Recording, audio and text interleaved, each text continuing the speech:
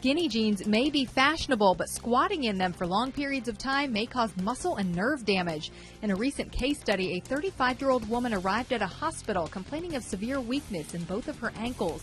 Doctors say the day before she had spent many hours squatting in tight jeans while emptying cupboards. Later that night, she developed numbness in her feet, tripped and fell, and laid there for several hours before she was found. By the time she got to the hospital, she had lost all feeling in her lower legs and feet. ER staff had to cut the jeans off her.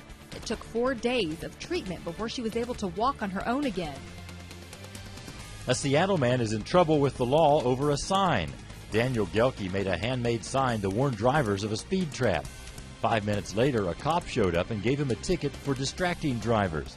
He faces a $138 fine, but Gelke contends he did nothing wrong and plans to fight the violation. New technology from Samsung lets drivers see through trucks on the road. A camera on the front of the truck sends video to monitors on the back of the truck so cars can see a clear picture of real time traffic. For now, the system is still in the early prototype stage. Fishermen in Australia caught a very rare basking shark off the south coast of Victoria. The last recorded capture of the species in this area was in the 1930s. The basking shark is the second biggest fish next to the whale shark.